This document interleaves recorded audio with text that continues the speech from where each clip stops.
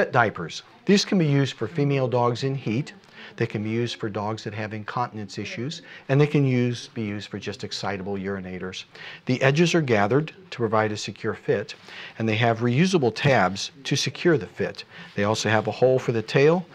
They come in six different sizes.